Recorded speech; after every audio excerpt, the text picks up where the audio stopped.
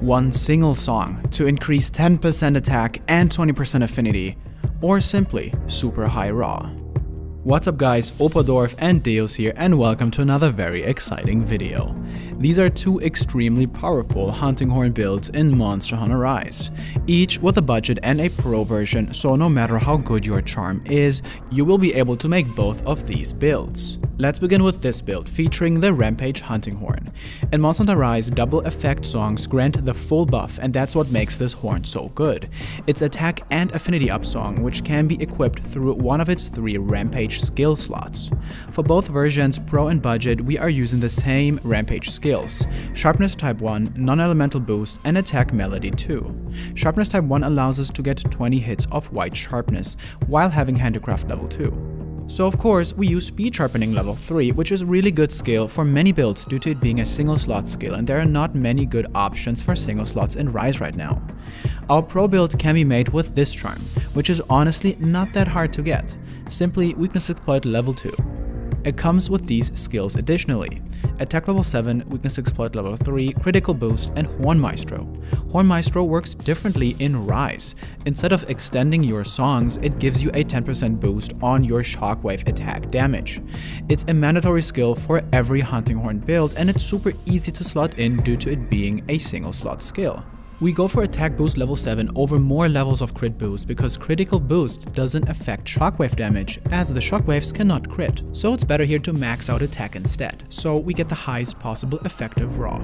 These are the materials to craft the armor. We use the Zinogre Helm S, the Remobra Suit S, Sinister Gauntlets S, Anjanath Coil S, and lastly the Hunter's Greaves S. These are the decorations needed. 1 Sonorous Jewel, 3 Grinder, and 3 Attack Jewels. Lastly, you have one free level 1 slot which you can use for, for example, flinch free. If you don't have a weakness exploit level 2 charm, you don't have to worry. This budget build right here is almost as good as the previous one. It's simply attack boost level 4 instead of level 7 and no more crit boost level 1. Here are the materials needed to craft the armor. We again use the Zinogre Helm S, the Zinogre Mail S, the Sinister Gauntlets S, Rathalos Coil S, and lastly the Remobra Feet S.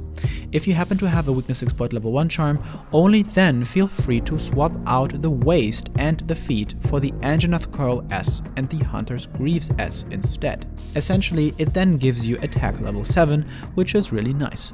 The decorations needed are 1 Sonorous, 3 Grinder, and 2 Attack. Moving on to this second build, this one is just as good as the Rampage Horn, if not better, because specifically for shockwaves, these deal really high damage with this horn due to its high raw.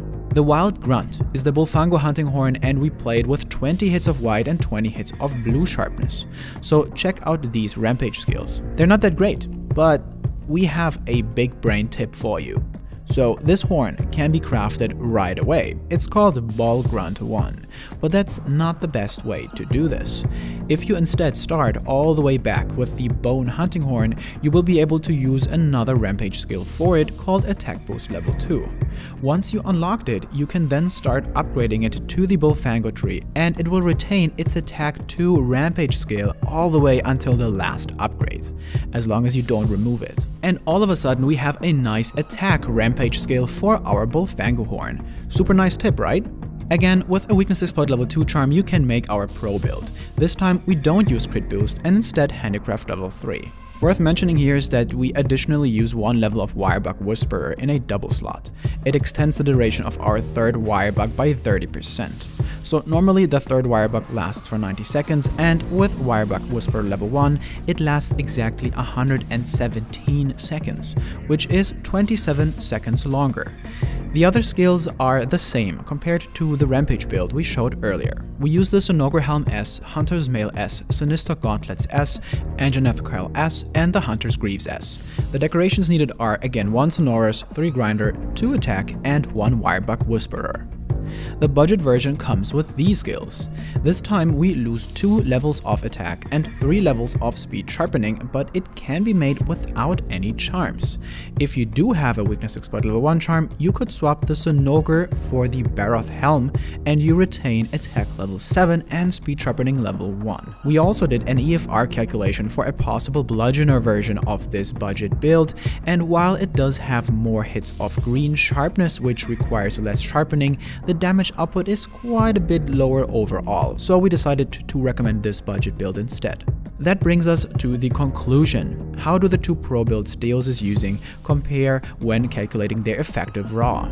Rampage Pro has 20 hits of white and 30 hits of blue, and this is the effective raw for normal attacks, and here with the attack affinity songs active.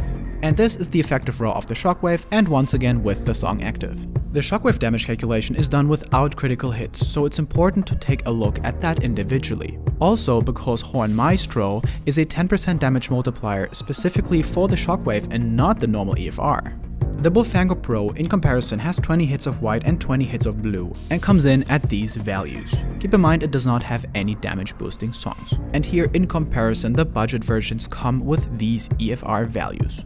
So before we talk about the switch skills, there is something important to mention about the Rampage Hunting Horn melodies. While Attack Melody 2 is very good, it's also important to consider the value of Healing Melody 2. So by sacrificing the Attack Affinity song for the Healing Melody, we get access to Health Recovery Large, which heals you every time you play that song. Health Regeneration grants a passive continuous health regeneration as long as this buff is active, and Earplugs protects you from monster screams. So this is a very comfy option to play if you are okay to sacrifice a little bit of damage. This melody also works really well in combination with the switch skill called Bead of Resonance.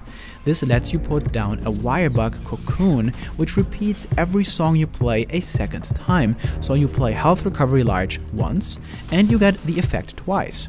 This heals you a lot without using any potions, and it even heals your team members as well. On top of that, Bead of Resonance also plays an attack song every time you play any song.